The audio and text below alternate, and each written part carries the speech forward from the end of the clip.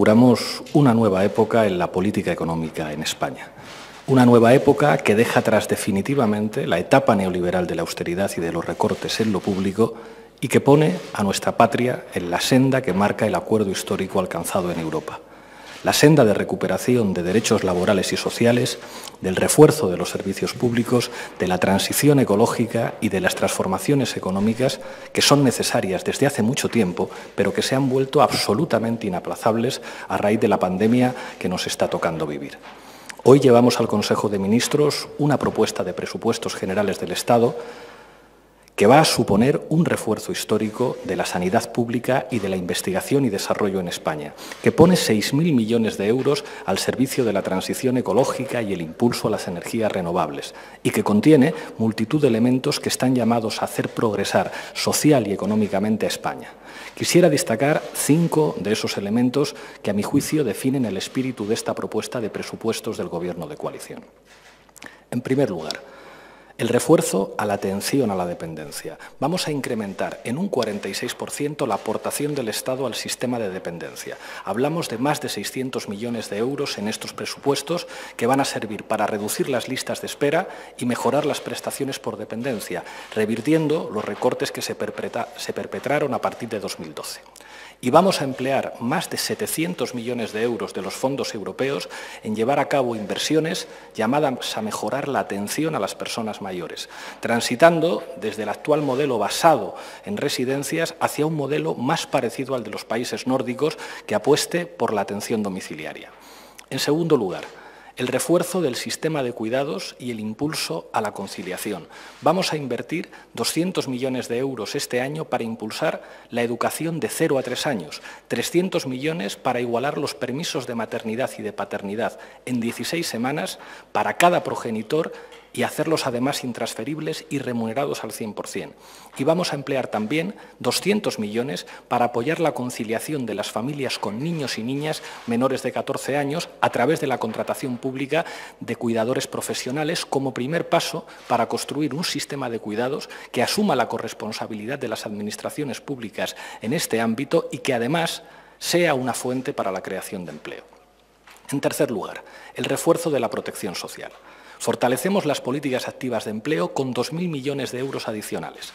Vamos a destinar más de 200 millones para reforzar y modernizar los servicios sociales públicos, la actualización de las pensiones al IPC y la subida de las pensiones no contributivas al doble del IPC y el incremento de un 5% del IPREM, el indicador público de renta de efectos múltiples, para que todo el mundo lo entienda. Las prestaciones por desempleo y la mayoría de las ayudas sociales que existen en España están vinculadas a este índice que llevaba 10 años prácticamente sin actualizarse. Este incremento, por ejemplo, va a mejorar las prestaciones que reciben muchos parados de larga duración, la renta activa de inserción, la renta agraria, las ayudas al alquiler o multitud de becas. En cuarto lugar, el refuerzo de la igualdad de oportunidades en el acceso a la educación superior más de 250 millones de euros para aumentar las becas universitarias, para que ningún estudiante tenga que dejar de serlo por no poder pagar.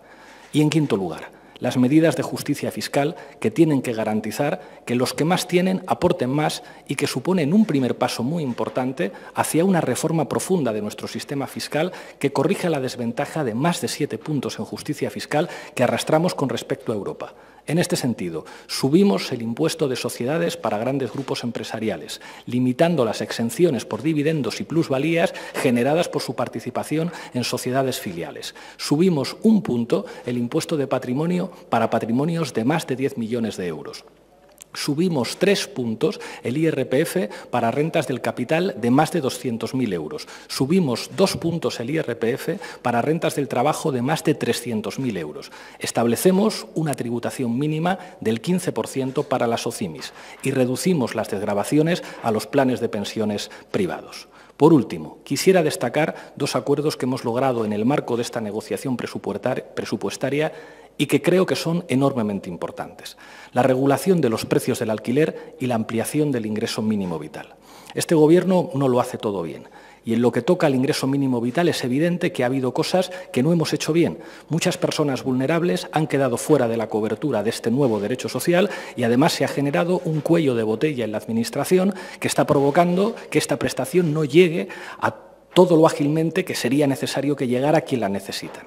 Por eso vamos a introducir algunas modificaciones en el ingreso mínimo vital en la línea de ampliar su cobertura y agilizar la prestación. En concreto, hacemos permanente, y no solo hasta 2021, como estaba establecido hasta ahora, la posibilidad de solicitar el ingreso mínimo vital teniendo en cuenta los ingresos del año en curso y no de todo el año anterior para proteger así a quienes sufran una pérdida repentina de ingresos.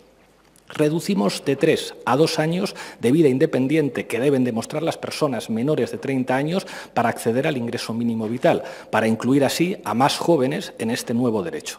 Permitimos que los servicios sociales puedan acreditar algunos de los requisitos necesarios para acceder al ingreso mínimo vital, para incluir, por ejemplo, a muchas personas sin hogar que tienen muchas dificultades para empadronarse. Y permitimos que haya más de dos titulares del ingreso mínimo vital en un mismo domicilio, entre otras mejoras. En lo que toca a la regulación de alquileres, la política consiste fundamentalmente en elegir qué intereses se defienden. Y este Gobierno, tal y como nos habíamos comprometido en el programa que acordamos el Partido Socialista y Unidas Podemos, va a tomar partido en favor de quienes viven de su salario y dependen del mismo para alquilar una vivienda.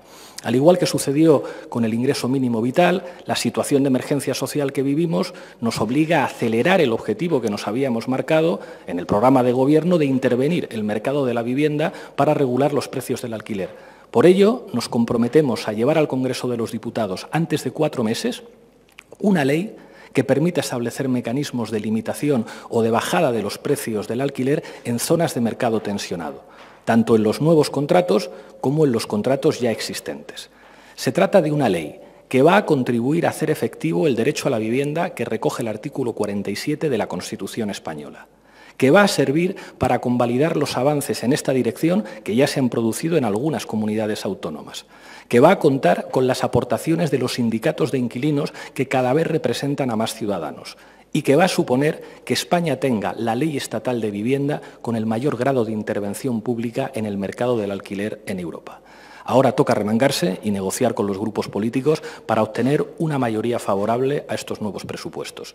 Habrá que trabajar muchísimo, pero creo que frente a las viejas recetas que hoy dejamos atrás, en España existe una mayoría parlamentaria plural que está llamada a transformar nuestra patria en un sentido progresista y que va a volver a expresarse para hacer realidad el compromiso histórico que representan estos presupuestos. Muchísimas gracias. A continuación intervendrá el presidente de Gobierno. Buenos días, eh, muchísimas gracias, eh, vicepresidente.